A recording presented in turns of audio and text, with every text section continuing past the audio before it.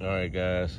Today we're going to be cutting all this grass. We're going to be checking out this Black Max 21 inch 125 cc uh, Walmart lawnmower that I picked up yesterday. It does have a height adjustment on it.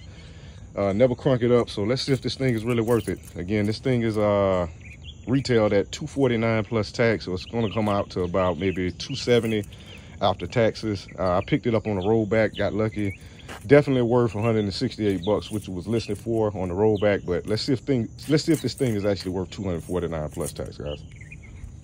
Not a bad looking mower, but it is definitely a push mower, not self-propelled.